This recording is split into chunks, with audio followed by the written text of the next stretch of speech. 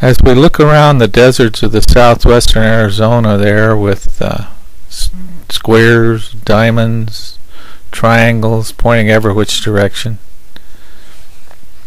it just makes you wonder what it's all about. Many of these drawings are military, United States Air Force.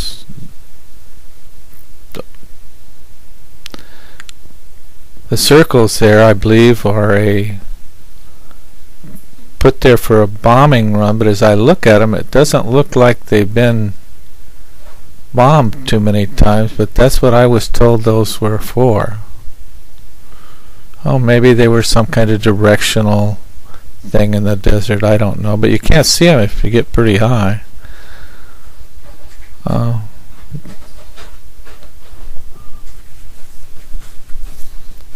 that's a couple of buildings at a military installation out on the desert, I was told.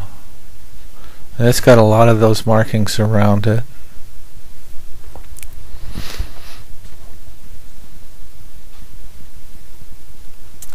As you uh, look at the Earth from through Google Earth's eyes or look at their images, you see different things. And here I saw some figure eights on the ground. See if you can see them.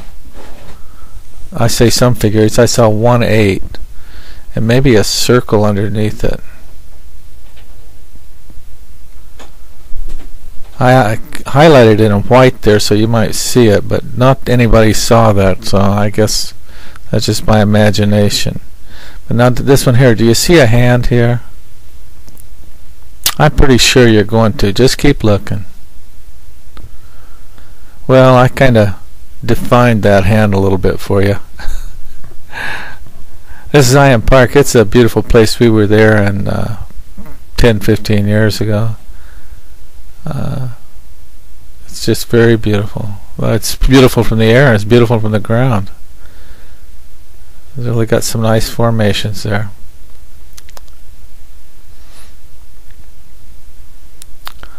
Over here, there's uh, an area that one of Google Community has marked as a free camp spot, and it's right down there to the above the road there, and it looks like there's maybe a room for five, ten trailers.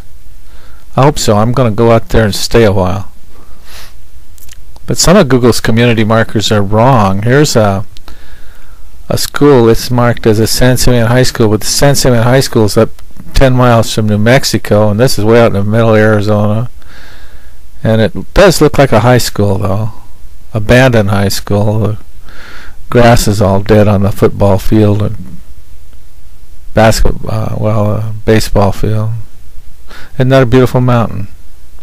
You can tip these, as I've said before, you can tip them to where you're looking across instead of straight down. That's in another one of my slideshows. It's a potash pond. I think these were in a previous slideshow too, but I just I looked at them and they're pretty enough to look at twice. That's in the Grand Canyon.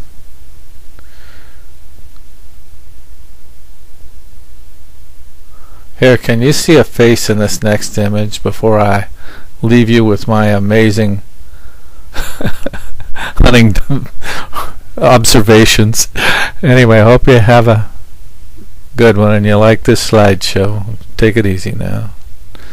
Come on back to this spot. I'll be putting some more stuff in.